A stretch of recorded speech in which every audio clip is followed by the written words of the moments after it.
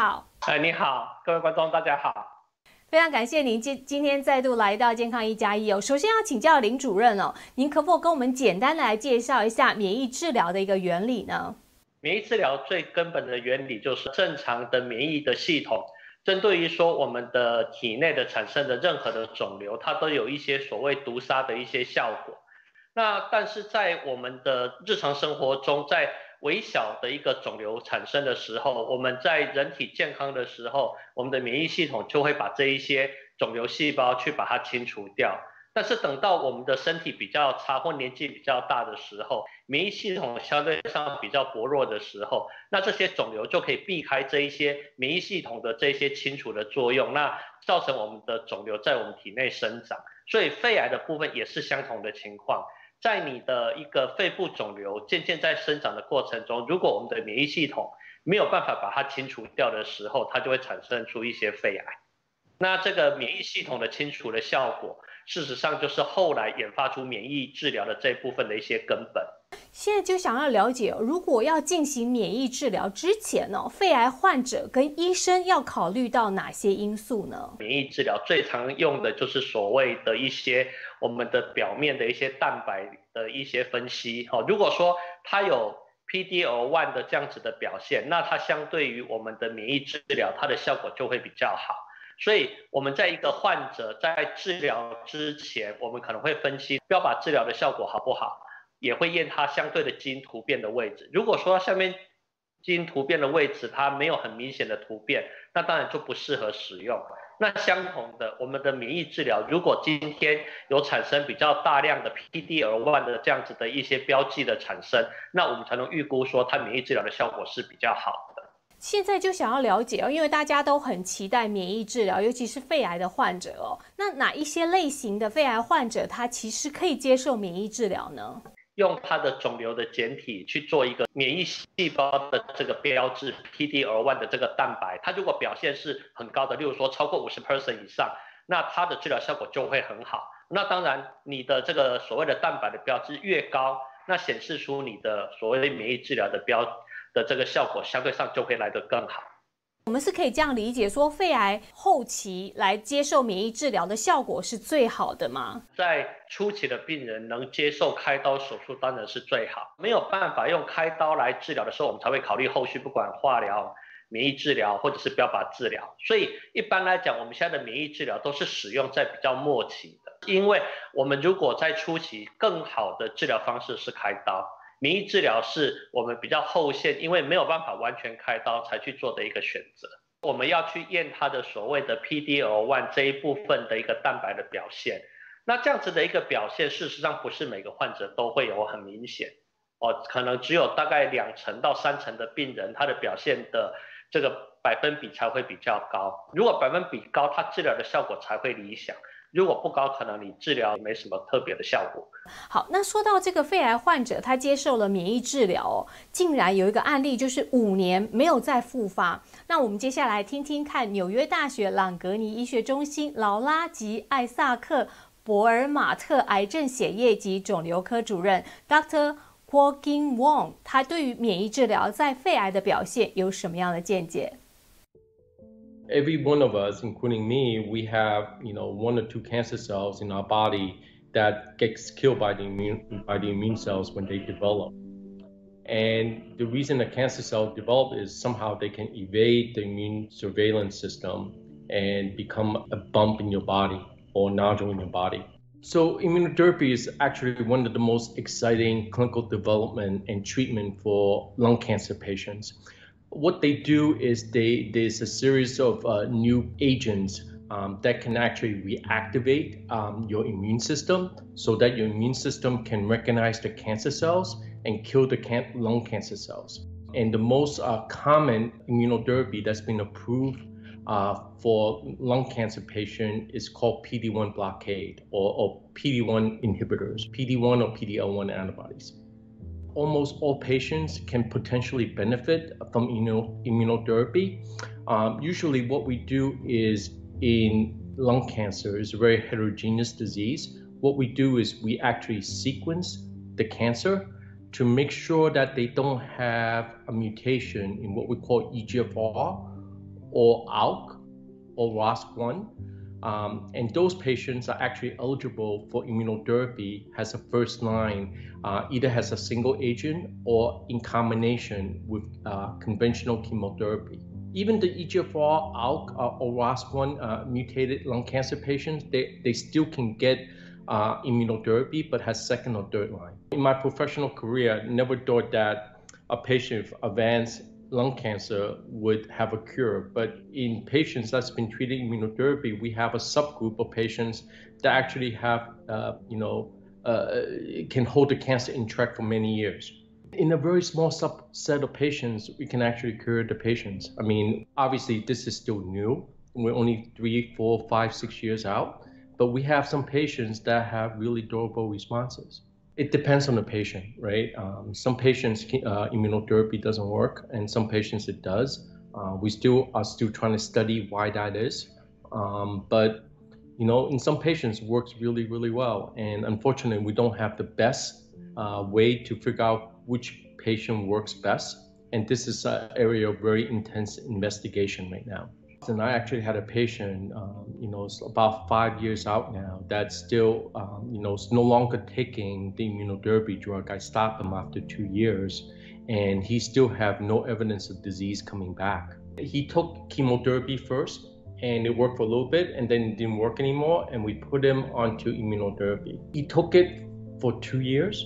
When when when a patient has stage four lung cancer, meaning it has gone beyond the lungs to other organs, radiation usually doesn't work um, because there's too many places to give radiation to. So usually we just give systemic chemotherapy, and in this case, that patient have undergone two different types of treatment, and you know, and work for a little bit, and then he subsequently relapsed and progressed. So after trying two different types of chemotherapy, we decided to put him onto immunotherapy. So, so I think that's actually a, a change of practice now. So, so if you if your cancer cell, what they do right now is if your lung cancer has a high um, abundance of this protein called PDL1 on cell surface, and we can do a test to look at it. And if it's above a certain percentage, we actually prefer to give immunotherapy as first line, give it first as a single agent. We also combine it with conventional chemotherapy uh, in combination and give it front line to get more um, benefit for those patients. So the practice has changed quite a bit in the last uh, one to two years. PDL1 is not a perfect uh, biomarker, what we call uh, a, a, a, signal in terms of what who is going to work better.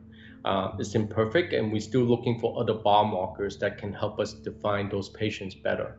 But for patients, the most exciting thing is combining with other immunotherapy agents that's uh, in clinical development right now. I think PD-1 blockade is just the first of many other drugs that may be coming on onto uh, our arsenal to treat lung cancer patients. Um, so, so I think combining com- combining immunotherapy with chemotherapy is the first wave, and combining immunotherapy with newer agents, um, that's also immunotherapy, is going to be the second wave it's a very important it's a very important weapon against the, uh, for the treatment of uh, lung cancer patients. Um, we just need to figure out, you know, at what point do we use this weapon, um, you know, and how we combine this uh, this drug with other drugs uh, to get the most benefit for the patients. You know, I think what we talk about is PD-1 antibodies, PD-L1 antibodies. Um, there's actually a lot of other drugs that we call immunotherapy drugs and this is an area of really amazing and active research by major pharmaceutical companies. And combining these with PD-1 or PD-L1 blockade, it's going to be, um, you know, very exciting in the next three to five years or next five to 10 years. Uh, at the end of the day, immunotherapy is the only way, uh, once we really know how to use it, and once we have all the, the best drugs, um, and can actually turn on the immune system, this is probably the only way you can cure a, uh, a cancer patient. And we're starting to see that now.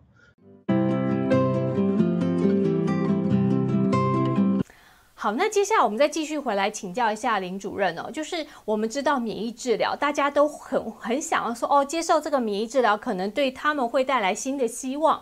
那另外还有一些人也想了解说，哎，到底免疫治疗有哪些副作用？那是不是有方法可以来做缓解呢？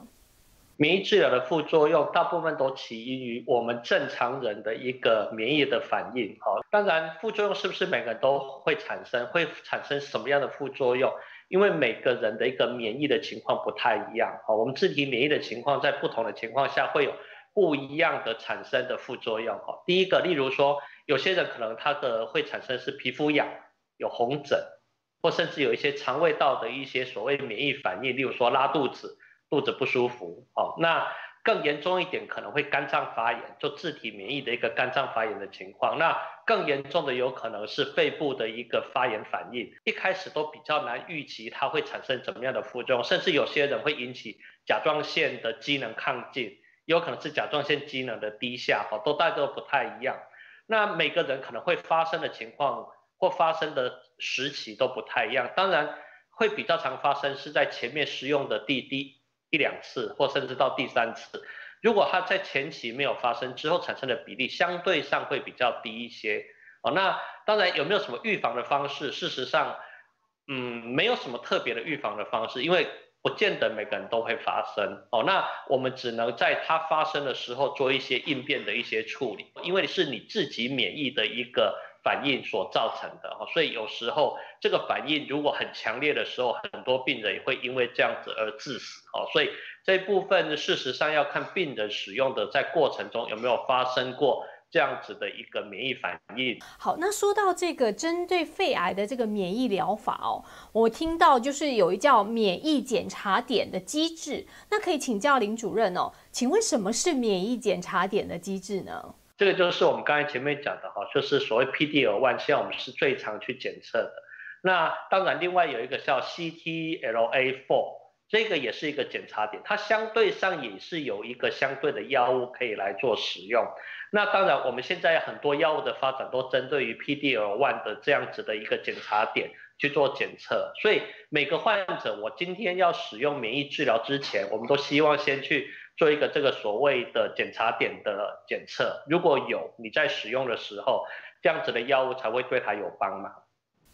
好的，好，那说到这个癌症的存活率哦，因为现在我们知道，在当下呢，就是已经我们的医疗技术啊，已经跟过去相比哦，比如说十年前的这个。技术相比是已经相差非常多了，所以可以请教一下主任哦。目前癌症的，就是肺癌的存活率跟过去肺癌的存活率，您可以帮我们做一个比较吗？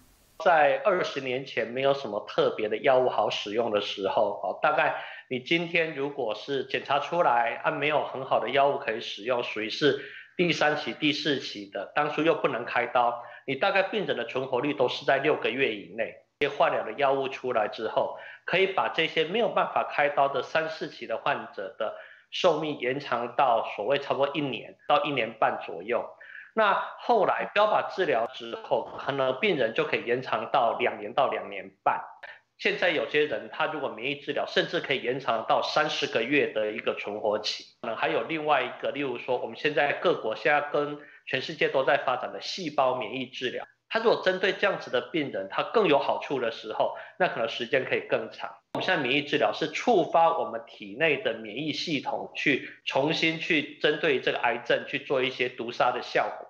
所以有时候如果这个效果是很长期的，使用超过两年之后，这个病人大部分都会产生一一定的对于这个癌症的免疫效果，他可能终其一生，他的癌症都不会再复发。哇，这真的是我想对于肺癌的患者、癌症的患者，确实是一个非常好的消息哦。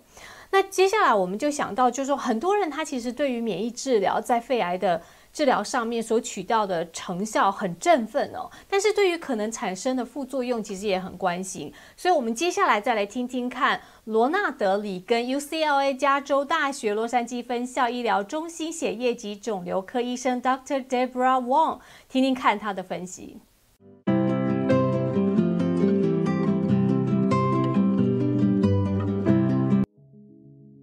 In Chinese patients, um.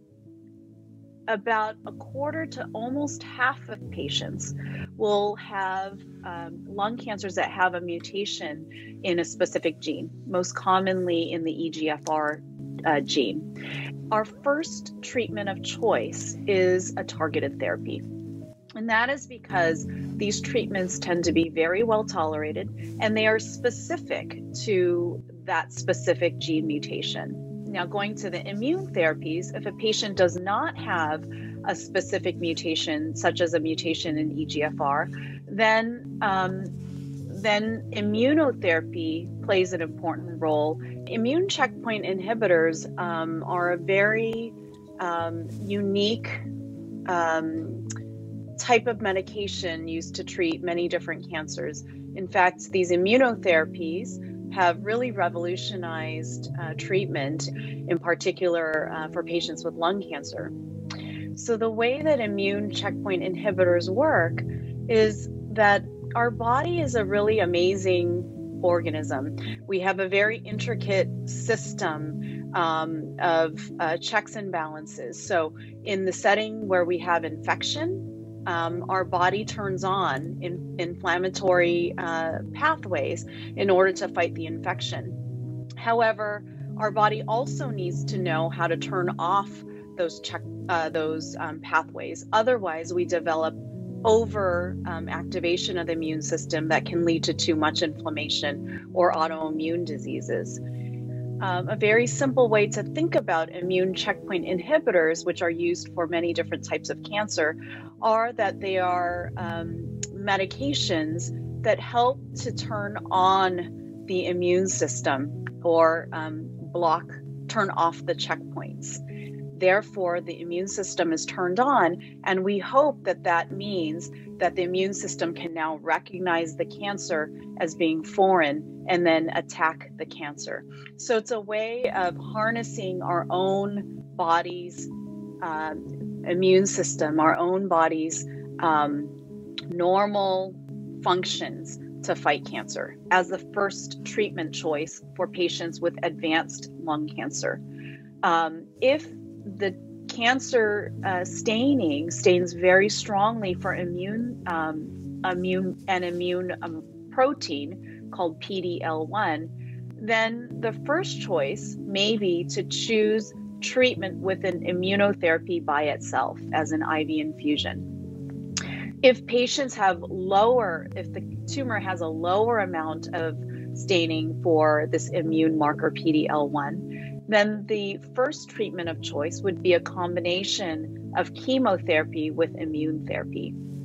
Uh, and what we know is that in such patients, adding immune therapy in the beginning as an earlier treatment option improves outcomes for patients compared to those who were treated with just chemotherapy alone. For patients who have stage three lung cancer, and generally that means that cancer is involving the lung, but also has spread to the regional lymph nodes, there is a role for immunotherapy as standard treatment compared to those who did not receive the immunotherapy. For patients who have advanced lung cancer, and one of the um, great uh, things about immunotherapies is that you're right, compared to chemotherapy, and even in some cases compared to targeted therapies, immune therapies have been shown to have less negative impacts on quality of life. Um, among the patients uh, um, that have been treated with immunotherapy in my practice alone, that most patients have very few side effects to the immune therapies. It is very common for my patients to uh, be working full time or to um, be carrying on with their normal activities and merely come in once every few weeks for their IV infusion of immune therapy. After the infusion, they just return to their normal lives without any issues. So, for the most part, side effects can be very minimal. However, um, the most common side effects from the immune therapy tend to be fatigue. Um, you can have some decreased appetite, um, perhaps some nausea, but usually it is not to the degree Sometimes, as a side effect of immune activation, uh, patients can de- develop itching of the skin, um, itching of the eyes, And about a third of patients will develop um, either low thyroid or um, overactive thyroid, which sometimes requires medication treatment. Now, more side, serious side effects can also occur, although they occur at a much lower incidence compared to the side effects that I mentioned. Serious side effects can include overactivation of any organ of your body. The, one of the side effects that we are most concerned about is the side effect of uh, lung inflammation, something called pneumonitis, in which uh, the immune system is overactivated and can cause inflammation of the lungs sometimes in patients with who already have had radiation to the lungs, that can pose a serious issue. Uh, and so, patients with pneumonitis may present with worsening cough and shortness of breath. And so, prompt recognition of this side effect is very important because we would need to initiate treatment to quell or calm down the immune system. We can have inflammation of any organ of the body potentially, including inflammation of the liver, which can cause hepatitis, inflammation of the colon, which can cause colitis or diarrhea, including bloody diarrhea, as well as inflammation of the pancreas called pancreatitis. Again, these uh, more serious, potentially life threatening side effects are much less common. And for the most part, most patients who are on immune therapy enjoy excellent quality of life. 好，那接下来我们再来请教一下林主任呢。一旦罹患了肺癌哦，大部分的患者可能会有一些生活上的要求，有哪一些特别要注意的吗？我日常生活最重要就是营养哦，你今天要足够的体力，你才可以跑赢这个肿瘤细胞。所以我们都希望患者他可以补充一些比较高量的一个蛋白质。哦，让他的体力、他的营养会来得更好。我们要有免疫力，也要足够的营养。哦，所以这个部分也是需要蛋白质的一些所谓的帮忙。哦，所以我们才会说，营养对肿瘤治疗的患者是最重要的。那今天在节目的最后了，可不可以请林主任来帮我们做一个结语呢？